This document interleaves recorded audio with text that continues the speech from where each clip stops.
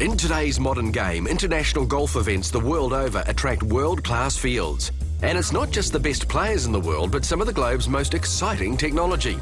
This group of fans aren't crowding around a TV screen of the latest tournament highlights. They're looking at swing statistics, care of an exciting form of swing radar technology. It's a Doppler-based radar system that uh, locks onto the ball and tracks the ball until it lands, giving you all the information you need on ball spin, ball launch, you name it, we can do it. The application for players is extremely worthwhile.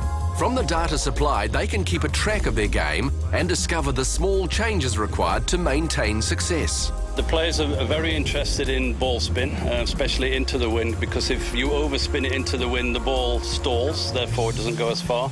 So they try and keep the spin down below probably 2,400 reps. And also they're interested in club head speed and ball speed also. Justin had a look at the screen after and he was looking for his ball spin because um, you don't want to be hitting the ball high with a lot of spin. He was quite pleased with his club head speed as well because I think he's just got a new drive and he wanted to check out on that.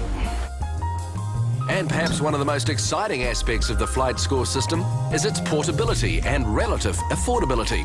For those familiar with it, they never leave home without it. Absolutely. I mean, I take mine everywhere I go.